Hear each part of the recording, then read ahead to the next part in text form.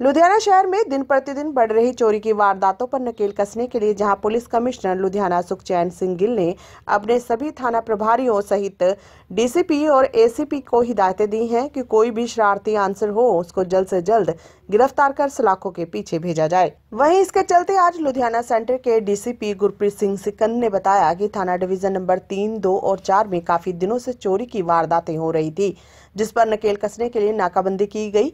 जिसके बाद एक रवि कुमार आरोपी को रोका गया, जिससे गहनता से पूछताछ करने के बाद हरियाणा नंबर की दो गाड़ियाँ मिली, जिसे और पूछताछ करने के बाद पता चला कि पूरा गैंग लुधियाना शहर में पूरी तरह सक्रिय है और इनके कब्जे से थाना डिवीज़न नंबर दो की पुलिस को सात मोटरसाइकिल, दो कारें बरामद हुई।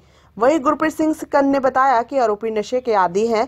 वहीं आरोपियों की पहचान रोहित वर्मा उर्फ़ रवि कुमार, वहीं दूसरे आरोपी की पहचान रामचंद्र, तीसरे आरोपी की पहचान बलवीर कुमार और चौथे आरोपी की पहचान जसवंत सिंह और हीरा लाल के रूप में हुई है। चोर लुधियाना शहर में ही रहते थे और सभी चोरी की गाड़ियाँ बेचने के लिए दिल्ली की कबाड़ मार्केट में जाते थे और मोटा मुनाफा कमाकर फिर दोबारा शहर में आकर चोरी की वारदातों को अंजाम देते थे।